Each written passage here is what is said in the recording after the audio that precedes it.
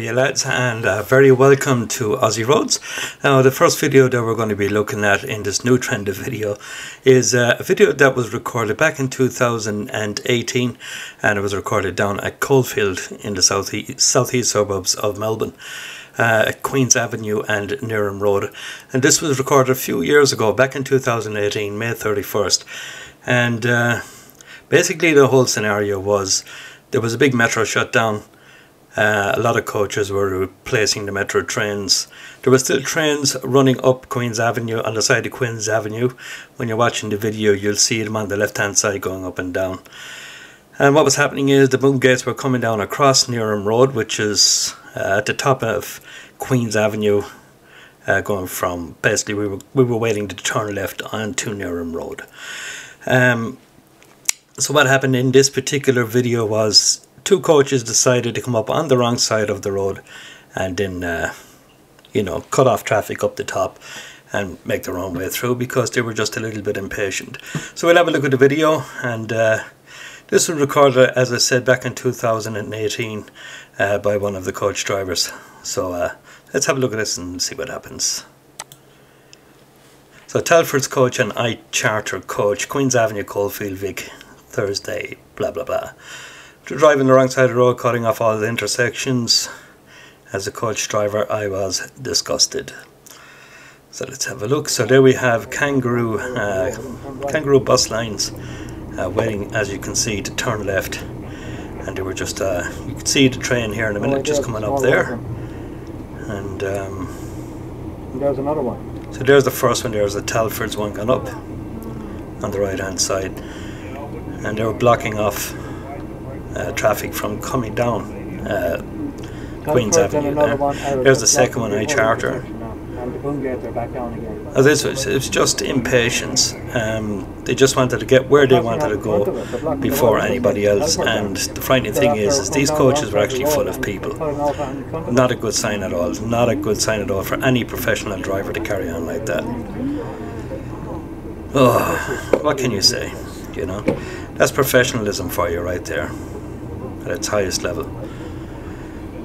Now in the video as well you can actually hear the um, the uh, bus driver that had the dash cam. You can actually hear him talking in the background. He's there's a train gone down right there down Queen's Avenue. That bus driver was really pissed off over what was going on.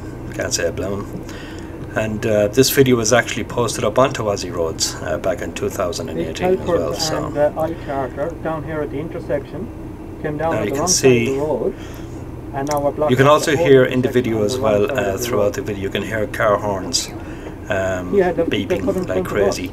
And that's traffic actually wanting to turn left off of Neerim Road onto Queen's Avenue to come down against uh, where those uh, buses are. They couldn't get down obviously because the buses were in the way. Absolutely no business going up there at all whatsoever. No business at all. Just wait in line. You know wait your turn, take your time, you'll get there at the same time as everybody else. You know, we just have to be patient in those scenarios. There's not much we can do about it. We're, we're, we're driving long, heavy vehicles. We're not going to get there any sooner than anybody else, regardless. And all we're doing is uh, pissing other people off and scaring the passengers that we have on the buses.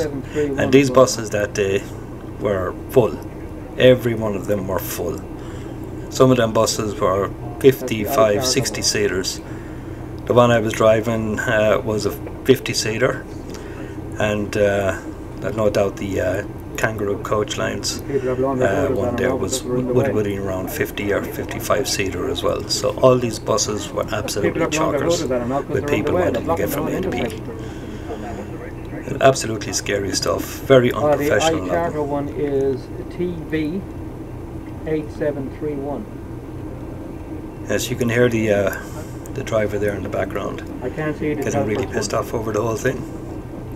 Talking to other people on the uh, two-way radio, other bus drivers, and uh, they too were shocked uh, by the sounds of it.